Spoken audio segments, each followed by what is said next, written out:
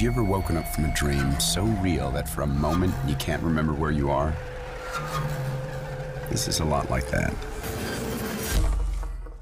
16 years. That's more than a third of my life leading up to this moment right here.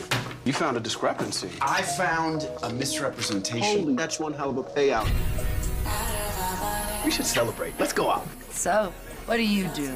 Uh, I'm an attorney. Why, do you like a public defender? Cold corporate faceless guy. All the way. Really? I feel like people keep looking at me weird. Oh, they're just wondering why I brought my dad. So who's going to go first? Okay. Hmm. How long till this stuff is supposed to kick in? It's going to hit you like a wave.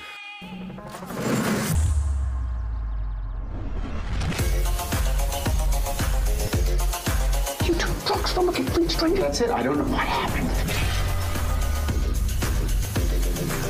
You all right? We need to find the guy from the party. We need to find right now. Give me back my drugs! The universe is trying to tell you something. Pay attention.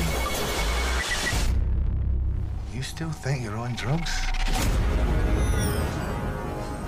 The universe knows what it wants. Balance. Fighting that will just throw your life into chaos. You're almost there. You're going to make this right.